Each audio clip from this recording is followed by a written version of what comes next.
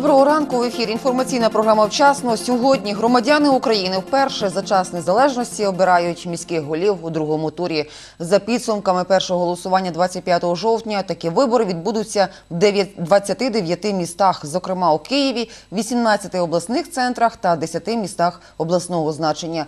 Ужгородці теж повторно голосують за кандидатів у мери міста. Протягом дня наші журналісти будуть стежити за перебігом голосування.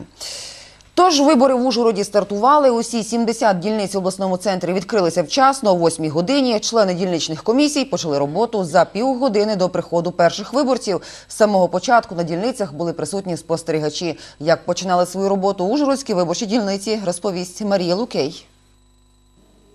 Дільниця номер 210-761, що знаходиться в Ужгородській ЗОШ номер 5, розпочала свою роботу вчасно. Одразу ж після її відкриття свої бюлетені отримали троє виборців. Загалом тут їх буде 1269. Кількість виборців у нас 1269. Е, Голосують на дому е, двоє чоловік. Е, Отримано виборчих бюлетенів 1278. Е, Ми чекаємо е, ближче обіда, е, бо думаю, вже люди будуть йти із повертатися з служби із церкви. Я думаю, повертатися з церкви, і вже тоді будуть приходити на виборчу дільницю, щоб проголосувати за того чи іншого кандидата. 18-річна студентка юридичного факультету Ганна Яцишин працює на дільниці членом виборчої комісії. Проголосувала однією з перших. Після обрання нового мера чекає у місті позитивних зрушень. Стандартно нам треба робити дороги. Нам їх реально треба робити, тому що неможливо ходити в центрі міста. Ну зробили одну дорогу, половину її зробили, іншу половину її не зробили. Це так робиться, як зрозумієте, таке відчуття, що роблять е, ну лиш би збути. Проте не тільки на матеріальні проблеми повинна звернути увагу нова влада, зауважує дівчина. Зосередитися необхідно і на духовному розвитку молоді. Тому що діти це наше майбутнє, треба займатися їхнім особливо культурним розвитком.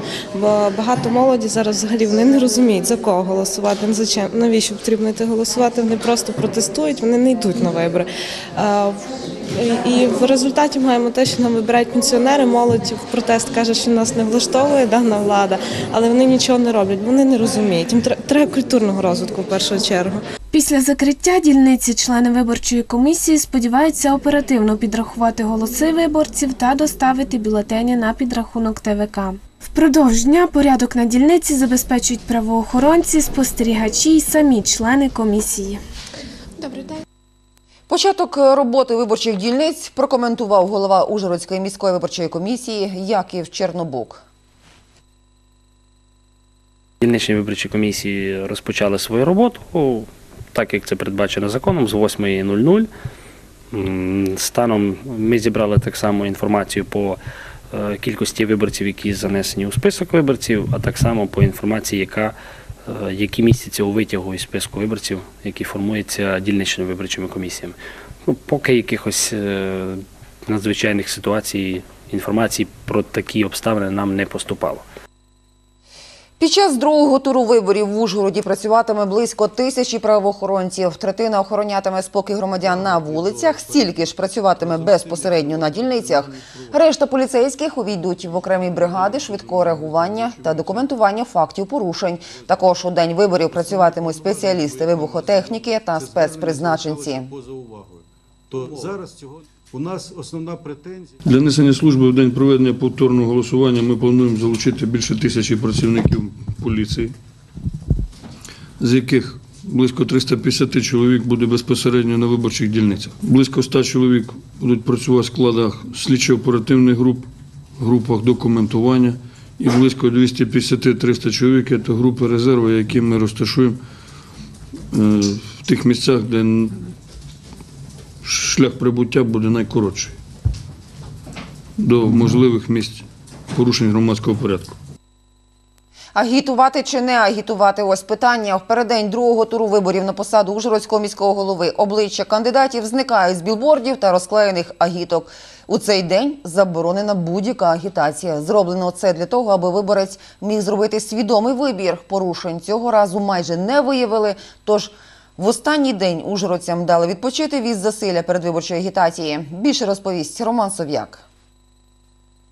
Згідно із українським законодавством, в день тиші не має бути жодної політичної агітації та реклами, бо це може вплинути на вибір українців. А от більшість опитаних ужгородців стверджує, що ця норма є не обов'язковою. Вони вже зробили свій вибір, і політична агітація на них не вплине. Ви ще чули про день тиші перед виборами? Так, чули, Так, звичайно. Що це таке? Розкажіть нам. Щоб кандидати себе не рекламували в цей день, і щоб виборці могли вибрати тихо собі спокійно подумати, зосередитися над своїм вибором і зробити правильний вибір. Скажіть, будь ласка, чи вплине якось от агітація в день тиші, припустимо, на вас особисто? Та думаю, що не вплине ні. Мені байдуже. Чи вплине якось це на ваш вибір? Ні. На мой нет. На вас не вплине. Ні. Ви вже вибрали, так? Я вже вибрав, який, бу- який був перший, такий буде і другий. В принципі, от добре, що є такий день тиші. Так, добре, люди знайдумають. Скажіть, будь ласка, ви чули щось про день тиші? Ні, не чула. А про політичну агітацію, яка сьогодні заборонена? Ні, ні, не чула. Хоча більшість опитаних ужгородців і не задумується над порушенням закону в переддень виборів, кандидати таки вели майже чесну гру. Політичну рекламу вдалося прибрати, проте з'явилися білборди зі стилістикою, схожу на ту, що використовував один із кандидатів. Однак громадянська мережа опора не вбачає в цьому порушення. Учора ми не зафіксували жодних е, грубих порушень закону е, з боку кандидатів. Ну, агітації як такої не було. Прямих символів у них немає, того якби вони не прив'язані до конкретного кандидата. А те, що білборди нагадують стилістику е, кампанії кандидата, цьому знов ж таки немає е, прямого закону. А от закарпатська поліція таки зафіксувала два випадки порушення виборчого законодавства. В одному з них йдеться про підкуп, в іншому про порушення дня тиші. У разі доведення провини у суді підозрюваним загрожує за підкуп кримінальна відповідальність, а за агітацію переддень виборів штраф. У переддень виборів наші журналісти поцікавилися в ужгородців, чи візьмуть вони участь у голосуванні та чого очікують від нового мера.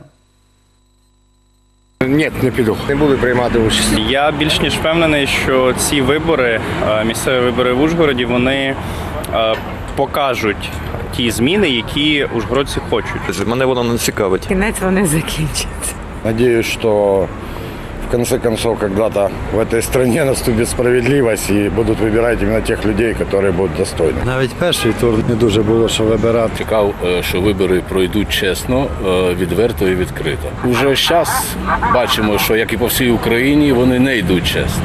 Мусить громадський обов'язок виконати. Не очікую, не піду. Це не мої кандидати.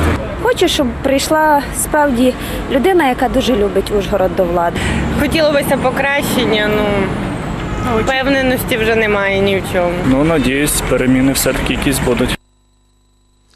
Попри все, люди налаштовані оптимістично. Ну а у нас на цю годину все. За перебігом голосування слідкуйте разом з нами. Не забудьте прийти на виборчу дільницю і проголосувати за майбутнє Ужгорода.